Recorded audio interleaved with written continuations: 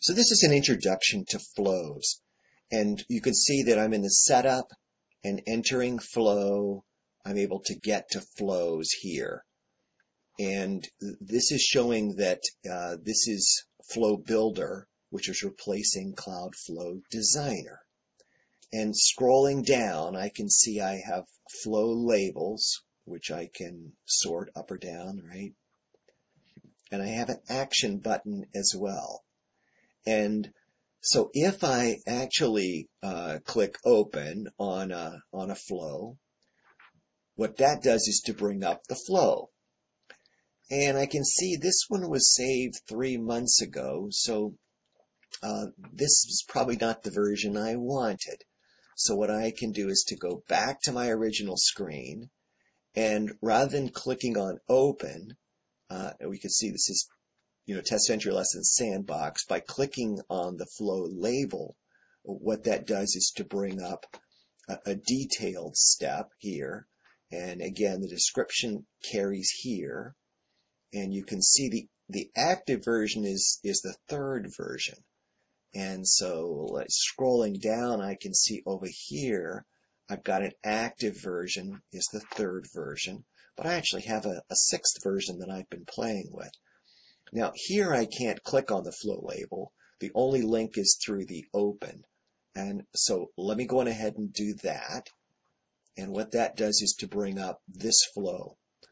And what you see looking at the screen, uh, first up from the top is there is a, a, view properties and by clicking that, that settings button, you have access to the description. So you can change the descriptions of your flows, uh, which will make sure that, uh, that they are accurate. And that's especially helpful given the nature of, of flows, which is, uh, you'll have lots of different versions, you know, kind of as you work with it.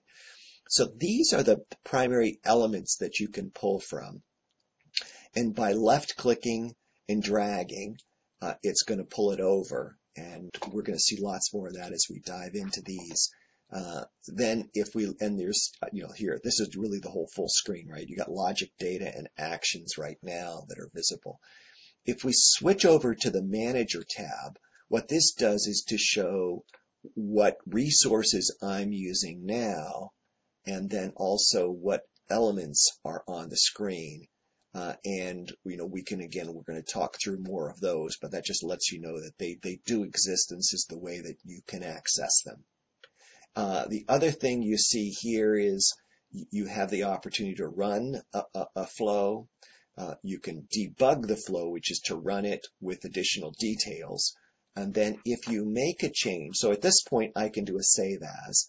But if I just change even the positioning of something here and say, let's just do that, and now let's says, do you actually want to save that?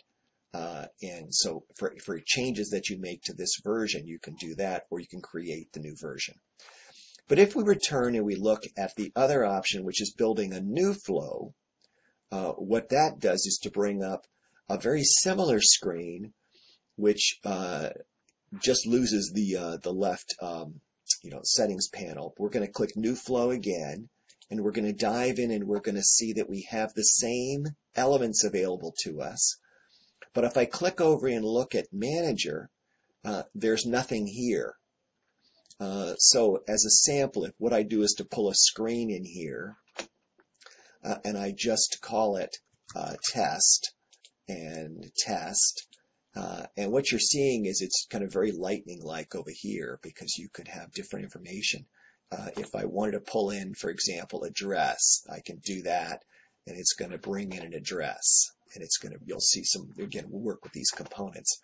Uh, but let's say I click done, uh, it's going to say you have an error because you actually need an API name. So I'm going to call this address, and I'm going to say done, uh, and it's going to save it.